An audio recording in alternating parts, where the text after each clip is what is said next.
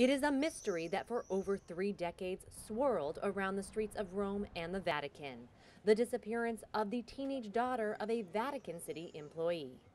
The most recent twist on Thursday, the tombs in which her family had hoped to find her found empty. Emanuela Orlandi was the daughter of a prominent employee of the Vatican Bank. Then she vanished without a trace when she was just 15 in the summer of 1983. The family's lawyer received an anonymous tip, which led the family to believe the teen's body was buried at the Teutonic Cemetery in Vatican City, a remote cemetery in the Vatican's closed off gardens. According to the family's lawyer, a letter was sent to them in March with a photo of an angel above a tomb, saying, Look where the angel is pointing. Over the years, speculation of Emanuela's fate has included reports of links to the Sicilian mafia, KGB, and even a plot to assassinate Pope John Paul II. Now, the search that has led to the tombs of a German princess and duchess, another disappointment.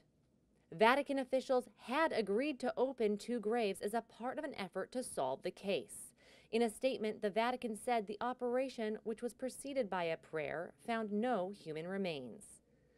Citing a careful inspection of the tomb of Princess Sophia von Hohenlohe brought to light a large underground space of about 4 meters by 3.7 that is completely empty.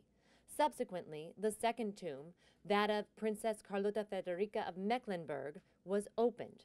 No human remains were found inside. The relatives of the two princesses were informed of the outcome of the search. Emanuela's brother, who had been leading the quest for answers to his sister's fate, was on hand for the event. I thought that today we could finally make a step forward, even if painful. Instead, we're at a starting point.